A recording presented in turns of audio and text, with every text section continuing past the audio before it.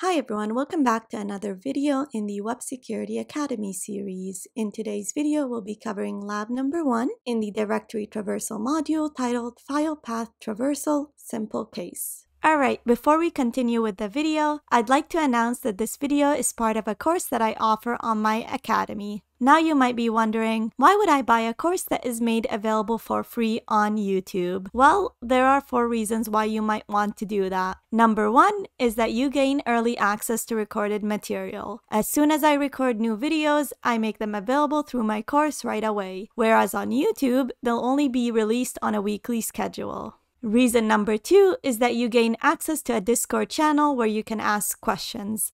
The Discord channel is divided into topics that we cover in the course, and if you run into any issues, you get to ask questions about anything related to the course material. Reason number three is that you no longer have to deal with YouTube ads or sponsor messages. And last but not least, reason number four is you get to support me. Any revenue generated from this course will go back into maintaining the Academy and creating more videos and courses that will be made available for free on my YouTube channel. So if you're interested in buying the course, make sure to check out the link in the description. And that is it. Let's go back to our video. If you do not have an account on the Web Security Academy, you can get one by visiting the URL portswigger.net slash websecurity and clicking on the sign up button. I already have an account and I am logged in. So to access the exercise, I'm going to click on Academy, go down, select the learning path, go down again, select directory traversal, and then go down one last time to lab number one titled File Path Traversal Simple Case. All right, let's get started. This lab contains a file path traversal vulnerability in the display of product images. To solve the lab, retrieve the contents of the etc passwd file. Alright, so the target goal over here is to exploit the file path traversal vulnerability and retrieve the contents of this file. Okay, let's get started. Now notice over here, this is the built-in browser in Burp, and so all my requests are already getting intercepted in Burp. All right, so while the application is loading, notice over here it loads a bunch of images. And these images are likely taken from some kind of folder on the backend server that is hosting this application. And so this is your first indication that you should definitely be testing for path traversal vulnerabilities or local file inclusion vulnerabilities or even remote file inclusion vulnerabilities. And so the first thing that we're going to test for is path traversal. So let's send this to repeater. And then I'm going to move this right over here and hit send. Now over here, the response is a 200 OK response and it displays the content of the image that is in this JPEG file, so the 65.jpg file. Now, if this is vulnerable to path traversal, we should be able to view the contents of other files on the server. However, something to keep in mind is that we're only able to view contents of uh, files that are readable by the privileges that this application is running as. And usually applications are not run with root privileges because that would be really bad. Um, that means we could read any file on the system, including sensitive files that could have hashed passwords. However, in most cases, it's only run with some kind of Webdamien user that has uh, very limited privileges. And so to test for path traversal, what we're going to do is we're going to try and access a world readable file. So it's accessible by anyone that has access to the server. And that file is going to be the passwd file. So the first thing that we're going to do is we're going to see if it accepts absolute paths. So we'll say etc and then passwd, hit send, and it says no such file. Now, um, if it doesn't accept absolute paths, it starts with the folder that the JPEG image was in. That means we need to try and get out of the folder. And so what we're to do is we're to add dot dot dot slash to try and get out of the directory that we're in. And I'll explain that in a bit. Let's put four just in case. Okay, so the reason I added the dot dot slash is because chances are the JPEG image is retrieved from a folder that is similar to this one. So var www slash images, and then we had the 65.jpg image. Now, whenever I enter a file over here, so let's say the pastwd file, it'll look for the pastwd file in this directory. So var www images and then etc slash pastwd, which it does not exist in this directory. This exists in the root directory. So what we're going to do is instead of doing that, we're going to add this comment over here. So what that means is get out of the current directory, which is the images directory, and then add another one which says go to the parent directory, which is the www directory. And then we're going to add another one and so it's going to say get out of the var directory. And so it ends up with just the root directory and then the etc folder and then the passwd file. And so essentially what you could do is instead of just assuming that it's three directories up, you could add the dot dot slash characters as many times as you want to ensure that you actually get to the root directory. So if we hit send right over here, you could see it solves the exercise. It says, congratulations, you solved the exercise, and it dumps the content of the etc pastwd file. So um, again, I mentioned if you're not sure if, if it's three directories up, what you could do is just add a whole lot of other move up to the parent directory and it should still work because eventually it'll only get to the root directory and then it'll look for um, this specific path. All right, so we successfully completed the exercise by manually exploiting the path traversal vulnerability. Now let's script it in Python. Okay, so this should be relatively simple because we don't need to authenticate to the application. This is essentially an unauthenticated vulnerability. And so the first thing that we're going to do is import the sys library and then the requests library, the URL lib3 library, and disable insecure request warnings. So URL lib3 dot disable warnings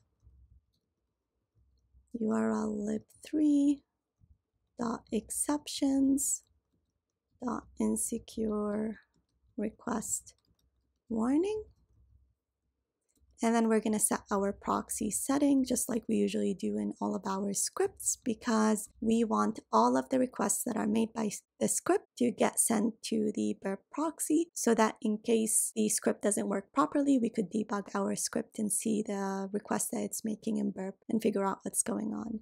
So send all HTTP traffic to where burp is running, which is HTTP 127 0.0.0.1 and port 8080 and also send all HTTPS traffic where burp is running, which is again HTTP 127.0.0.1 and port 8080.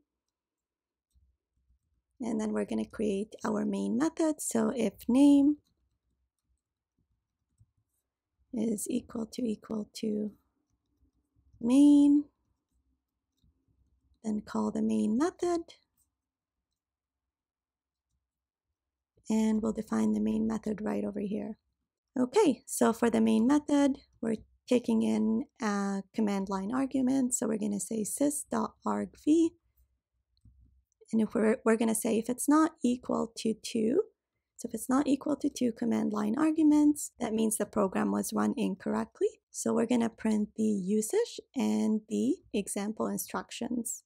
So usage instructions, the name of the program, which is taken from the command line, and then the URL.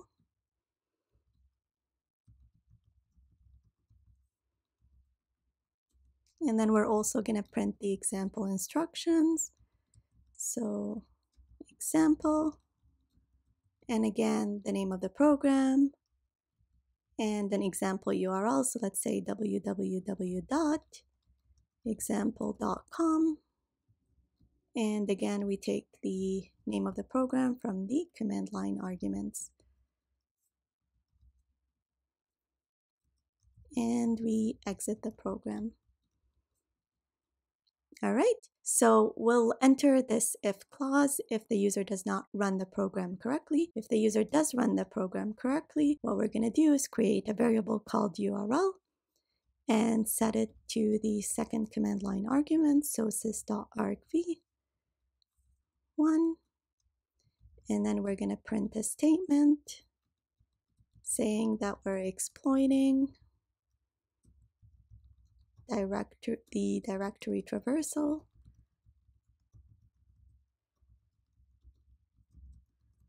vulnerability. And to do that, we're going to call a function that we're going to create. So directory traversal exploit, and it's going to take in the URL parameter that we just passed in the command line. Okay, this looks good. Now let's define our function. So def directory traversal exploit, and again, it takes in the URL. The first thing that we're going to do is set the path uh, that contains the vulnerability. And so we're going to call it image URL because it is the path that retrieves the image. And that's going to be the regular URL plus this path right over here. So let's copy that.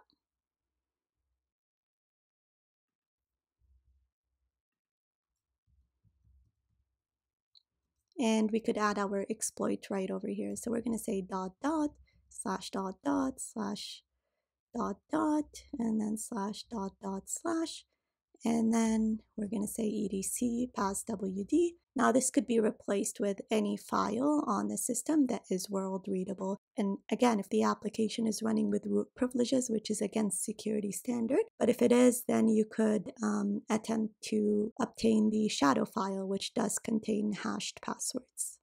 Okay, this looks good. And then the next thing to do is just perform our request, which we do using the requests library. We say dot .get because it is a get method right over here. And so it takes in the image URL that we just set. We're going to set verified to be equal to false because I don't want to verify TLS certificates and proxies to be equal to proxies. And then I want a way to verify that my exploit worked. And so to do that, I'm going to look for this specific string over here. This will always be there in uh, the response because the root user is always a user of the system. Okay, so I'm going to say if I see this specific string in the response of my request that I just made, then I'm going to print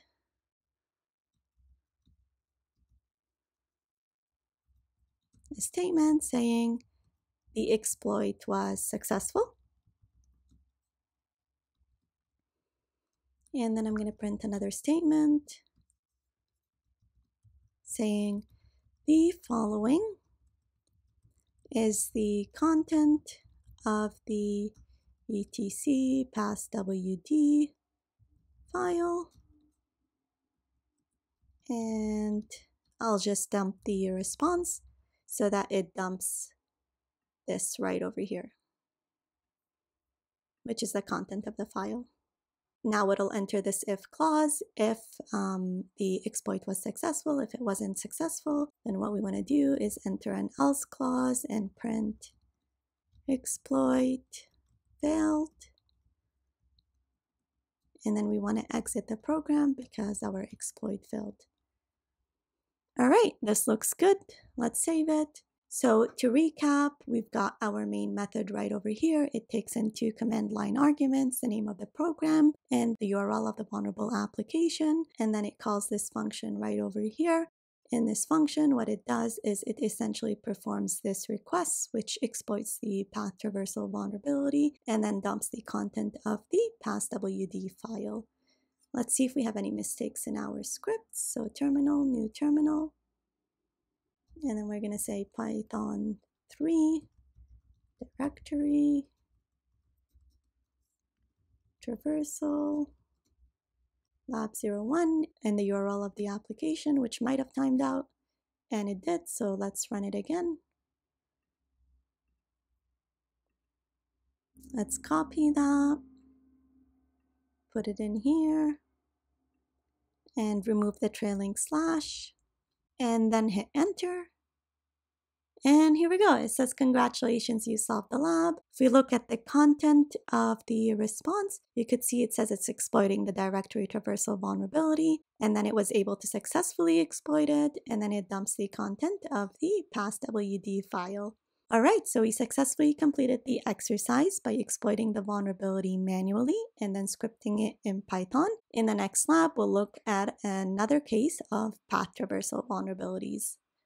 If you liked the video, hit the subscribe and share button so that the video reaches a wider audience. Also make sure to check out my course if you're interested in seeing more videos like this one. Thank you and see you in the next video.